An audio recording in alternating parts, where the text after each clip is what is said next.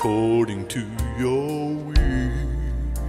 according to your will. My life is not my own. Life is not my own. I seek you. Well, hi there, and welcome once again to In Search of Christianity, brought to you by Bible Talk.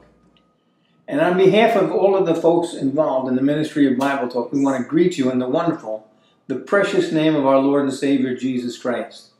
As we continue on in the study, a new study, we're actually in the prelude, the beginning of the study, in the Sermon on the Mount.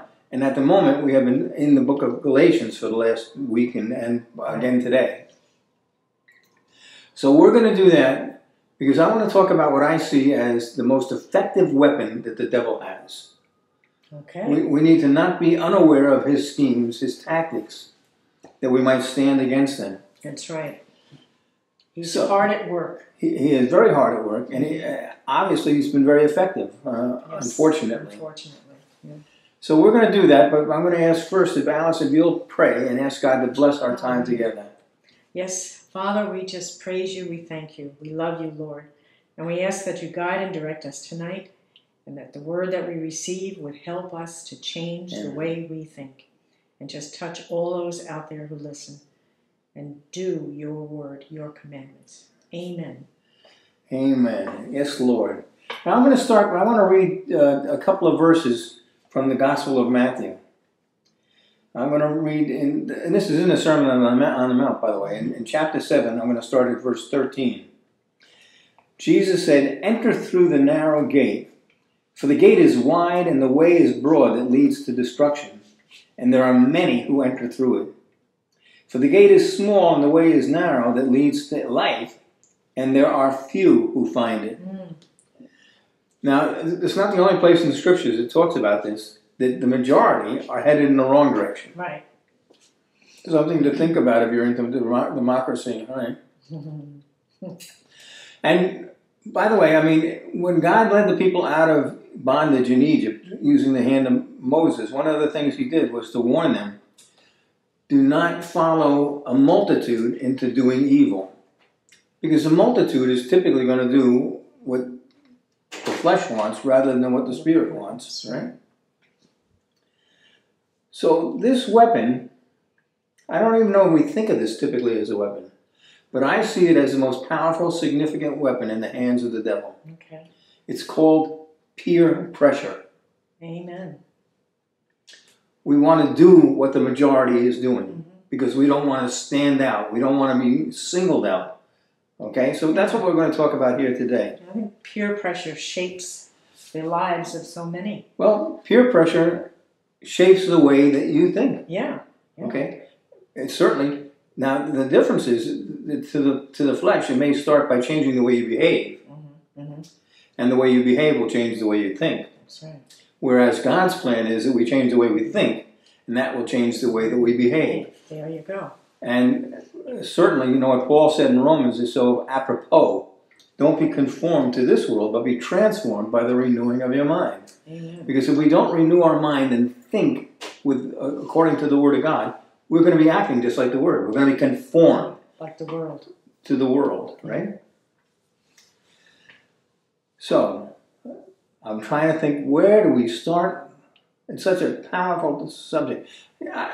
Years ago, I did a very in depth study in the book of Revelation. Yes. And I did a lot of study on um, behavioral modification, and that was that became a science in the early 1900s. And I in the in the mid 1900s, there was a man named uh, Skinner, B.F. Skinner, Mm.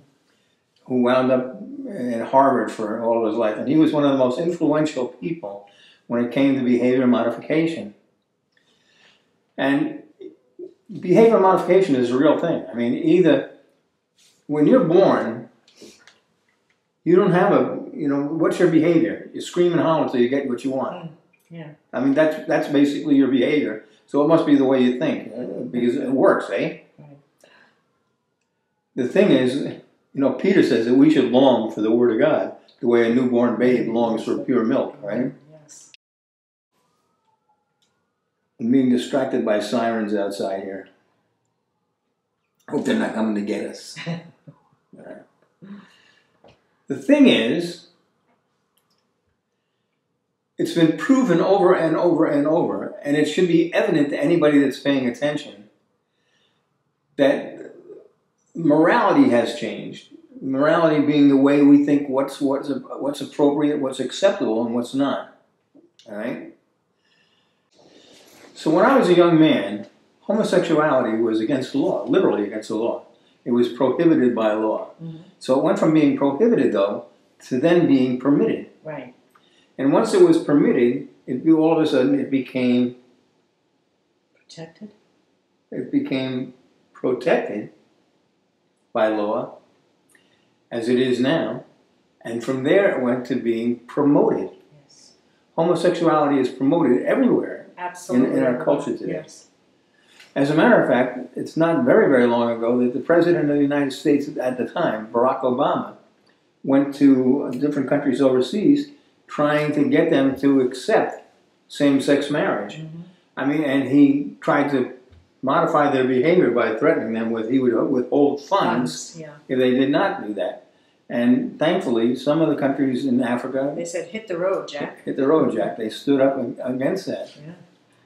But that's why behavioral modification works, by, by reward.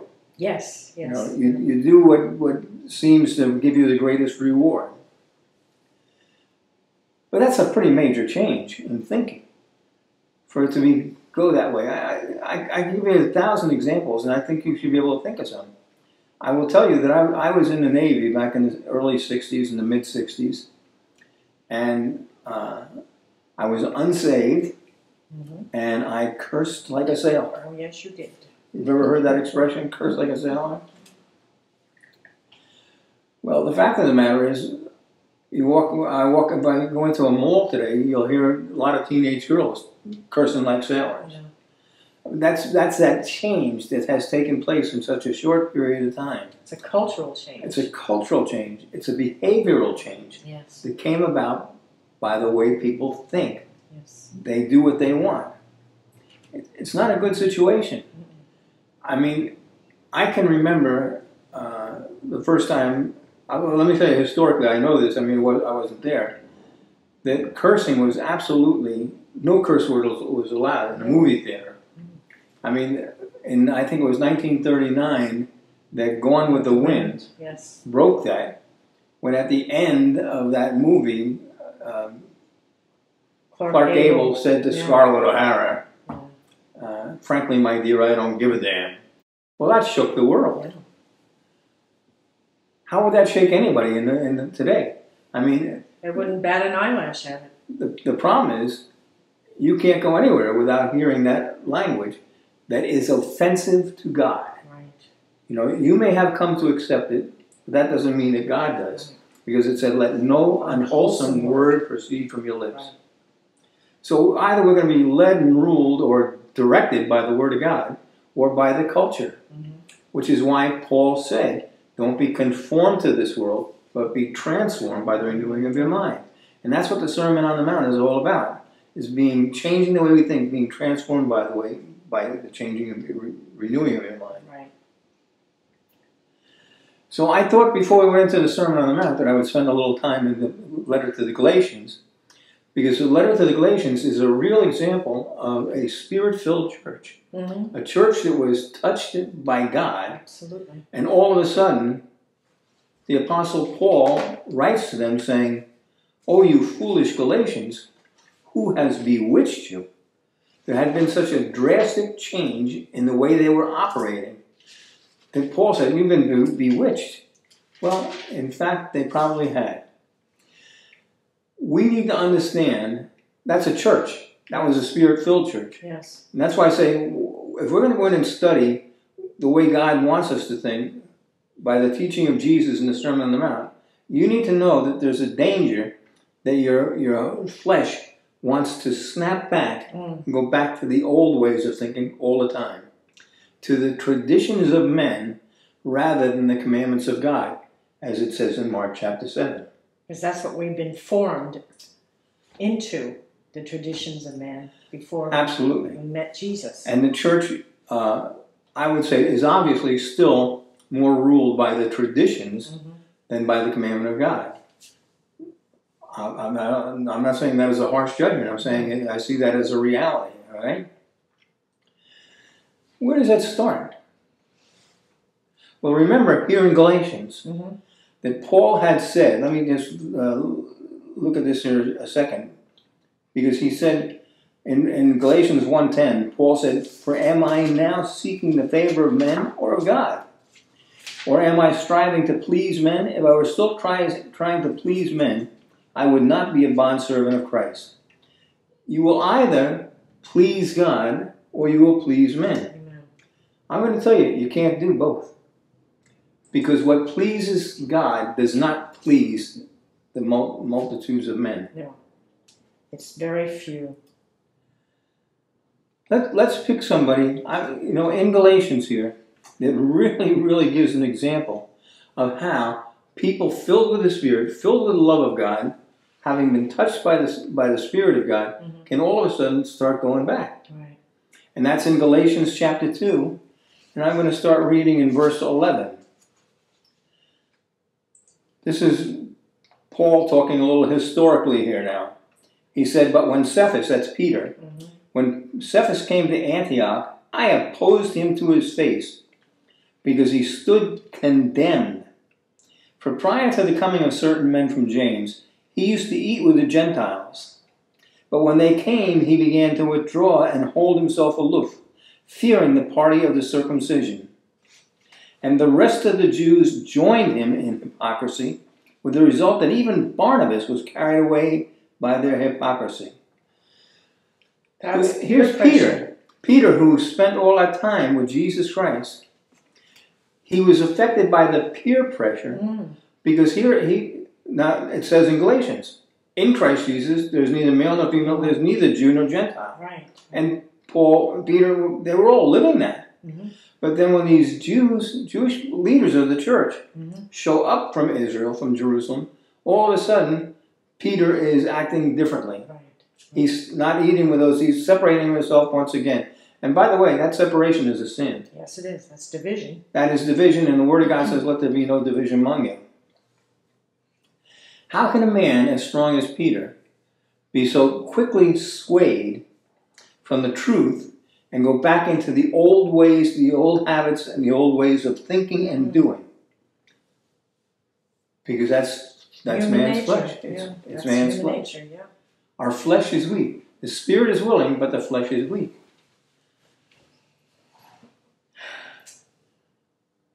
It's really difficult. Of course, it's difficult. Yeah, very difficult. I, I promise you, you can't do it on your own. No, not at all. That's why you have to condition yourself, train yourself to be work, walking in the power of the Holy Spirit in your life. Mm-hmm. You, God doesn't expect you to be able to do this. That's why you know it's like a parent saying, "Don't go out in this, don't go out by the street because you get killed to death by a car." No, he said. Jesus said, "Don't leave Jerusalem until power comes upon you." He didn't want them to leave until the power of the Holy Spirit had come upon them in the day of Pentecost. Right. Because that gives us the power, that gives us the strength, that gives us the ability to do the things of God as He desires. Without that, you're not going to do it. Without that covering. You're, you're going to, you, you try as you might, you're going to fail. So, I mean, these are things to think about. Have you received the Holy Spirit? Right. Have you been baptized in the Holy Spirit? Are you walking in the Holy Spirit? Or you- Otherwise, you're a dead battery. Well, otherwise, you're in grave, grave danger. Is there any other kind? No. No. There's no other kind. All right. So, what do we do to try and make sure that we do not revert to the old ways of thinking Mm. once we have been touched with the new ways of thinking? Mhm. Well, the answer is very simple by living them, by walking them, and making that same decision that Paul had made that I'm going to stand for God regardless. Because when we talk about all of this behavioral modification, and, and you know, as I said, I, I started, I did a lot of study on behavioral Mhm. modification back in the 70s when I was doing a major study in the book of Revelation. And B.F. Skinner was one of the people who was most influential in the in the fifties, forties, and fifties in developing the whole concept of behavioral. mo- It's all about risk and reward. It's all about you know you reward the behavior you want, and you punish the behavior you don't. You know, when I, I remember those studies, and I remember some some of the experiments that you shared with us, and I thought the one that was really interesting was the um, they brought a group of people in, and the wall, Yeah. and looking at a wall, and they asked each person. I mean, I mean, I mean, what, what they had done is uh, they had a, a, a group of ten people. Mhm. This was at a university, and they were doing this study. And they brought in ten people, and they went down the line. And they said, "What color is that wall?" And the first guy says blue. Second guy says blue. The third one says blue. Right on down the line, until they get to the tenth person. Well, the wall was not blue. The No. wall was green. right? The wall was green, obviously green. Yes. It's not dealing with colorblind people. And the, the tenth person says uh, blue. Because there was so much pressure on him to conform to what the others had said. And the, I mean, that was a study that was done over and over and over, with the results being the same almost each and every. Now those nine people, they were they were part were of the part study. of this study, but they Yeah, they, they were in they- on it, Yeah, yeah. they were in on it. They knew that it was green, but they said blue to see if this other person would agree with them. And there have been so many studies like that. I mean, that's such a, a silly little thing, isn't it? I mean, it, that's what that caught my attention about it was it was so simple. Of course, it's you know. How how could you possibly say what those other people are saying? But if you're put in that position, But that's the point of the study yeah, is yeah. to show something so simple as that. how easy it is to get people to change the way they act. Right? Now that doesn't mean he thought it was No, no, but he, he changed the way he acted. You can change the way you think, which will change the way you act, or you can change the way you act, which eventually is going to change the way you think. Right. You know, Paul said in, in 1 Corinthians, he said, When I was a child, I used to speak as a child, think as a child, and, uh, and it struck me one day. The childishness was that he would speak before he would think. Right. Right. We, we need to get to that place where we, we are thinking. Our mind is fixed on the Word of God. Our mind is fixed on Jesus Christ. Our eyes are, are fixed on Jesus Christ. We need to understand that everything in the world, and I, I'm talking about movies, television, radio, everything, has a design Mm, to get you to be conformed to the world. that's right. The unfortunate part is all too much of the church has fallen into that trap and is acting like the world. hmm Okay? How do you know? Well, you know, you know how you know? You pray, you test everything according to the Word of God. Why do you think it is so notable about the Bereans in the book of Acts? Mm, That they talked about Paul comes in and teaches to the Bereans and says they didn't take his word for anything. no, no. They tested it. When Paul pro- preached, they would check the scriptures to make sure that what he was saying was the truth. hmm You know what Paul said? You know what the book of Acts says? They were more noble minded. That's right. That's noble minded. Read Jeremiah 17 and see where it talks about if you trust in mankind, you're, you're foolish. But how blessed are the people who trust in the Lord, trust in. So we have to learn It to trust Cursed in is the the Word. man who trusts in mankind. Cursed. That- that's what it says. yes. So if we're going to study the the the uh, Sermon on the Mount, and the Sermon on the Mount from Roman from Matthew five one all the way to the end of chapter seven is about okay. You've heard it said, but now I'm telling you. Here's the way you have to you have to change the way you think about this. I promise you that everything in the world is going to try and bring you back into that old way of thinking, the old habits, the old traditions.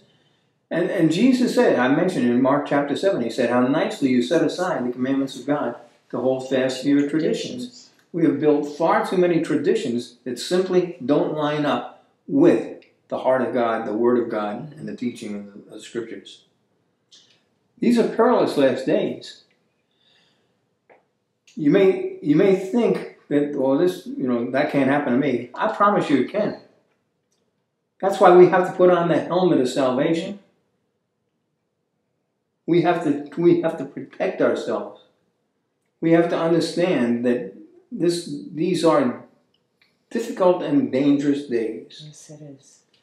How can you do it? Be in the Word. Okay? Don't follow a multitude into doing evil. Don't do something because everybody, is else doing did it. Yeah. Because if everybody else is doing it, it's probably That's a red flag. You know, when I was a child, I tell my mother I want to do something, you know, and she said, "No, you can't. You shouldn't do that." I said, "Well, my friends are doing Well, it. my friends do it. Well, my friends do it." And she said, "Well, if your friends went up to the Empire State Building and jumped off, would you? Would you jump?" Probably so. We're all lemmings. It's yeah. yeah. just follow the crowd. That's what. That's why Paul starts in this letter of Gal- to the Galatians. It's so important. He's not trying to please men. His desire is to please God. Mm-hmm. You have to understand that more often than not, when you are pleasing God, you will not please man. Because mankind does not think like God thinks. They hated Jesus, they're going to hate you if you right. if you are living and acting and, loving like like Jesus. But that's a decision that we have to make. We have to decide to do that, and then we have to understand that if we're going to go into the letter of the Sermon on the Mount Matthew, yeah. in Matthew five, six, and seven, and see Jesus is saying, "Well, you've heard it said this is what you this you heard it said where From the church. church." The teachings. from the teachings of the church. And so he's saying over and over and over, you heard it said, he's talking about the teachings of the church. He says, but I'm saying to you, and do it this way. Because they were teaching from the law and from tradition. How do we get so far away? Because I tell you, everything that Jesus said, he heard from the Father. Yes. Everything that Jesus said was the heart of the Father. Amen. How do we get so far away from the heart of the Father? A little bit at a time. Poco, poco, little by little. Because it's easier. It's more pleasant. How many traditions do we have in the church? I mean, uh, you know, I- I have to say it right now. It's like we are wrapped up in, in the tradition of the holidays, Christmas Yes. and Easter. How much of that do you see in Scripture? Not at all. You don't. I mean, we have we have virtually ninety years of history from the birth of Christ to the John on the island of Patmos. Yeah. How many times there do you see the church celebrating Christmas, mm. No. the birth of Christ? Not at all. Never. But what they did, they were dedicated to the celebration, to the proclamation of the death of Jesus Christ. We proclaim his death until he comes. Passover. Paul said, I have determined to know nothing among you but Christ and Him crucified. You, you think that made him friends with the church? No. No. Why did he, why did he say at the last that nobody came to his defense? Mm. If you want to make friends, go join the 4 H club or somebody. I don't know. If you want to be pleasing to God, study the Word, know the Word, and do the Word. Isn't that the gospel? What is the gospel? That Christ died. Well, let's read it because we have the gospel given to us, and it's in 1 Corinthians chapter 15.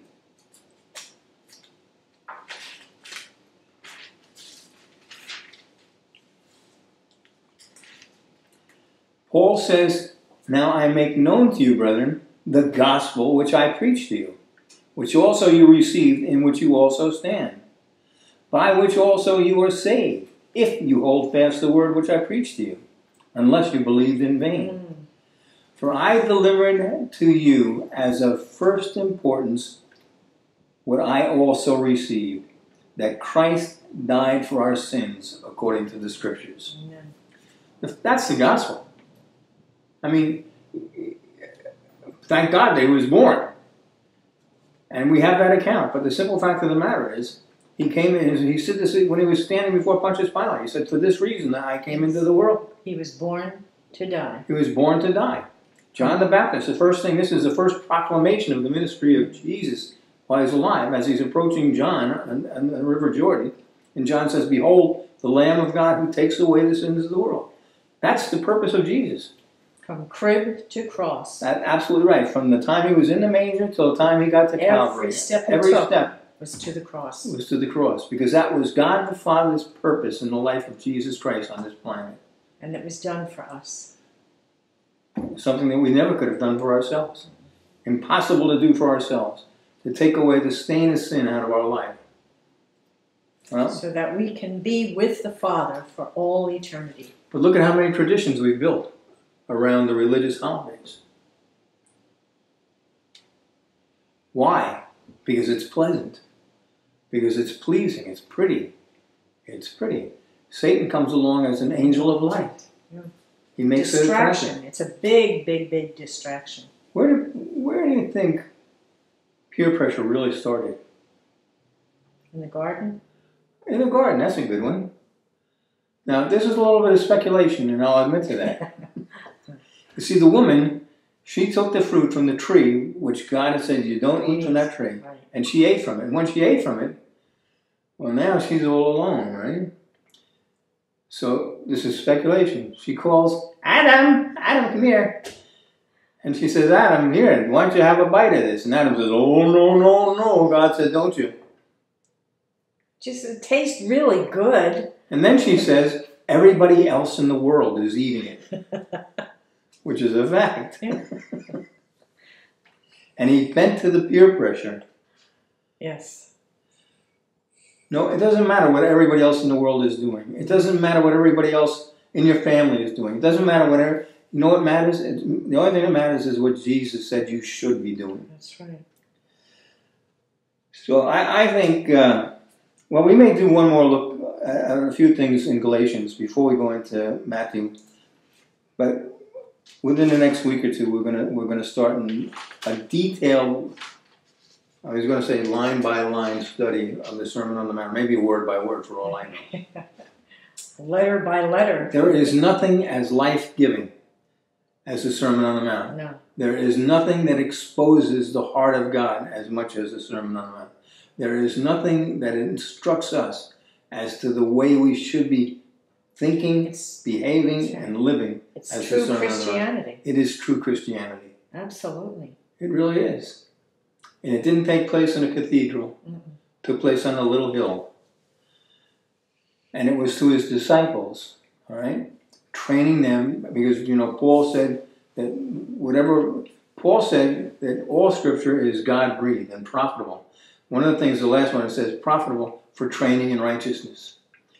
Jesus Christ had gathered his disciples to give them a word to train them in righteousness before he sent them into the world to do their ministry. If you're going into the world to do ministry without having a knowledge of the Sermon on the Mount, you have been deluded. You have been fooled. And you never want to hear anybody say to you, like Paul had to say to the Galatians, Oh, you foolish Galatians, who has bewitched you? So, Father, our desire is to be more and more daily, more and more like your Son, Christ Jesus. Lord, to bring the fullness of the truth of your love into the world, to touch other lives. Lord, I praise you and thank you that you have given us your Holy Spirit to do within us what we could not do on our own, to stand fast and not be swayed by the world and the things of the world, but the power to do your word. Thank you. We love you, Lord, and we desire to love you all the more.